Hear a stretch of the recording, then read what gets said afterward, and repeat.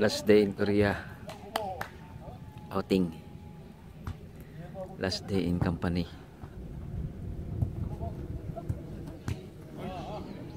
Lumabas kami.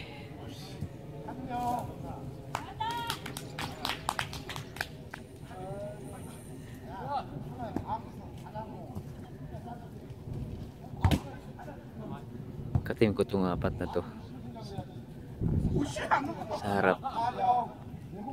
Sa kabila, kalaban. Panalo na kami kaninang dalawang beses. Malamang pinali na to.